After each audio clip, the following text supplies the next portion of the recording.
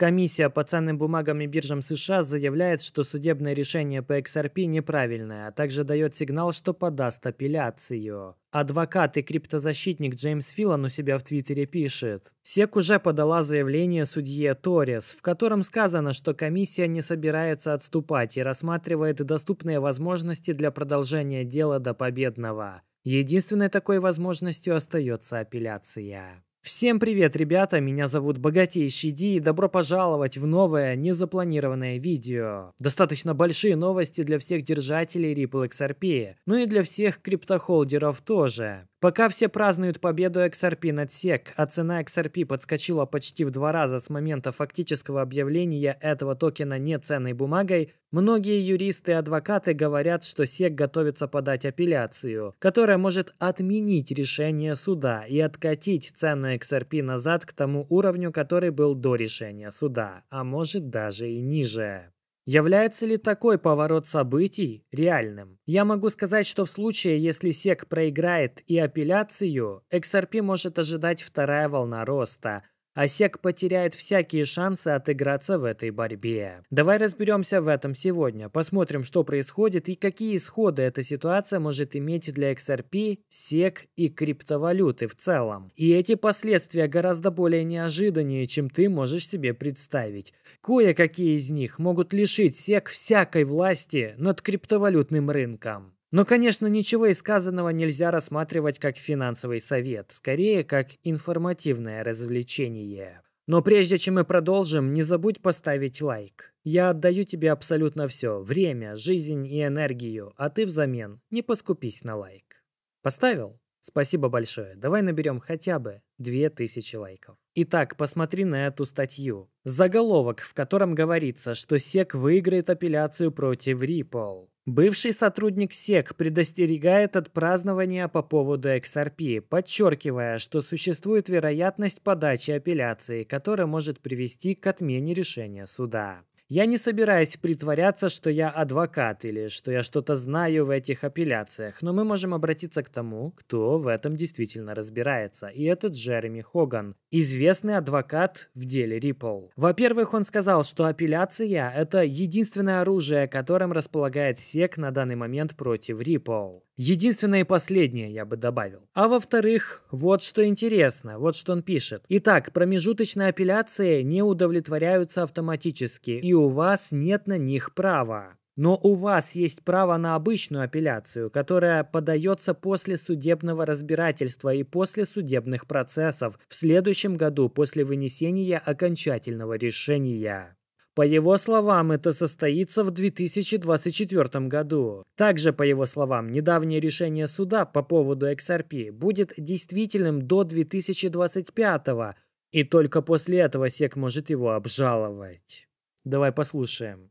Каждая сторона может обжаловать это решение, но это будет просьба о так называемой промежуточной апелляции, которая очень редко удовлетворяется. Более вероятно, что апелляция будет подана после судебного разбирательства. При этом ее рассмотрение займет много времени. Поэтому недавнее решение, вероятно, будет действительным до 2025 года, и это большой срок, за который многое может произойти. Что ж, это очень хорошие новости, потому что если мы увидим бычий рынок в период между 2023 и 2025 годами, XRP безусловно сможет воспользоваться этим. Но есть вероятность того, что они могут подать апелляцию, и нам придется вернуться в зону неопределенности. Джереми также высказал свое мнение насчет того, будет ли одна из сторон подавать апелляцию. Он высказал аргументы, почему да и почему нет. Он сказал, что большинство юристов, которых он видел, считают, что СЕК подаст апелляцию. Цитата. Если бы я мог предположить, чем мы все на самом деле и занимаемся, я бы поставил на то, что ни одна из сторон не подаст апелляцию. Во-первых, апелляции трудно выиграть, как сказал судья Торрес, который изучил весь протокол. Во-вторых, если СЕК проиграет эту апелляцию, то потеряет гораздо больше, чем приобретут, подав ее. Если СЕК проиграет апелляцию, то все суды уже и второго округа должны будут принять первоначальное решение судьи. И если появится какой-то другой судебный иск или процесс, подобный процессу Ripple XRP и SEC, то любой подающий его автоматически проигрывает дело или даже не сможет участвовать в процессе.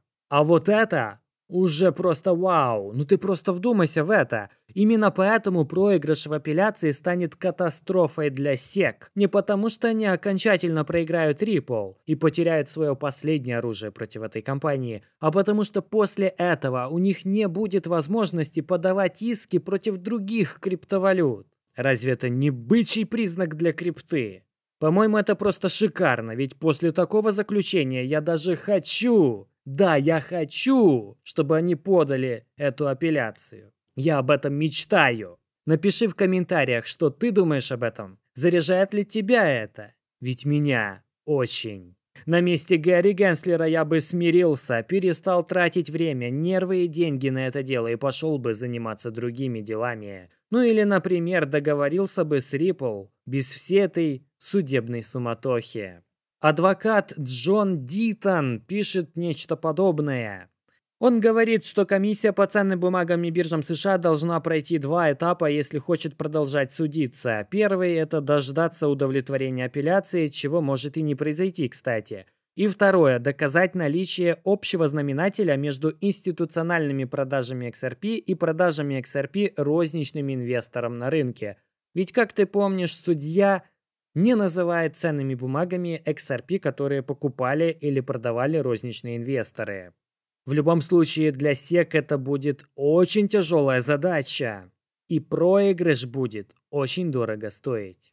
Есть два исхода апелляции. В случае проигрыша SEC мы уже осознали последствия. Но в случае проигрыша Ripple, в чем я, конечно же, сомневаюсь, XRP может обвалиться обратно до отметок, которые предшествовали судебному решению. А возможно, даже и ниже. Но я могу сказать одно – пусть это будет шуткой, если СЕК подаст 10 апелляций, то ей придется отметить 10 поражений. Но меня зовут Богатейший Ди, и мы увидимся с тобой совсем скоро в новых видео.